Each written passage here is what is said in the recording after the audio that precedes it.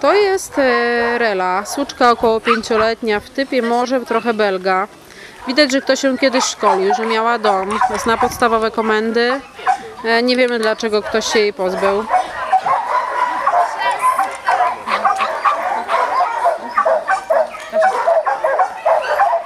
No, zna siad, zna łapę, daj leżeć. E, Sunia pięknie chodzi na smyczy, jest karna, jest posłuszna. W stosunku do innych psów jest raczej dominująca, choć na spacerze zupełnie e, się nimi nie interesuje.